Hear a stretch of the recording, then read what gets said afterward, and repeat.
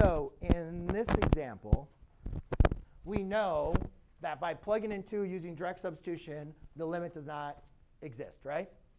So next thing we do is we look for factoring, we look for rationalizing the radical, we look for simplifying trig limits, any kind of other properties. But we're kind of stuck, right? There's really nothing else we can do. Everybody agree with me? So we can just assume that by plugging in at 0 that the limit does not exist. And we, obviously, if we are able to use a calculator, we could kind of be able to see that the limit does not exist. But let's kind of use our left and right hand limits to show why it does not exist.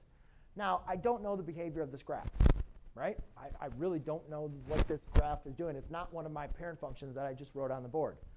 So what we can do, though, is from the left-hand limit, is pick a number that's to the left of 2. Really, really close to 2, but not to 2. So let's evaluate for what's a number that's really, really close to 2? Huh?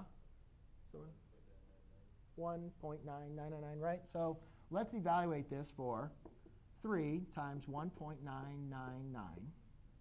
divided by 1.999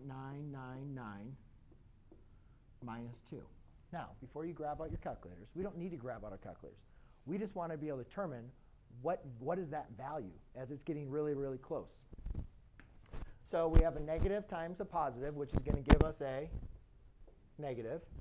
We have 1.2 um, minus, uh, 2, which is going to give us another negative number.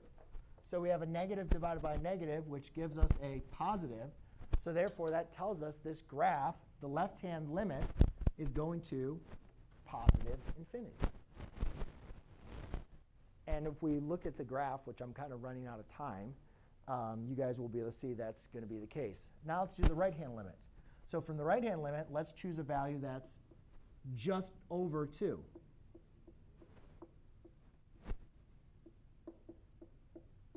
And this is what I wanted, this is what you would have been the best way for you guys to do those problems on your homework. Number, uh, number 9, number 11. You could have done number 19 this way, so forth. Um, all right, so therefore, as you guys go and take a look at that, um, this gives you a negative, and then this gives you a positive, which equals a negative infinity. So that's where you can see the right-hand limit goes to positive infinity. 2.001 minus 2 would be 0.0001, right, which is positive. Okay? And if you guys have a graphing calculator, if you want to graph it, I just don't have time to show it, but you will see that that is correct.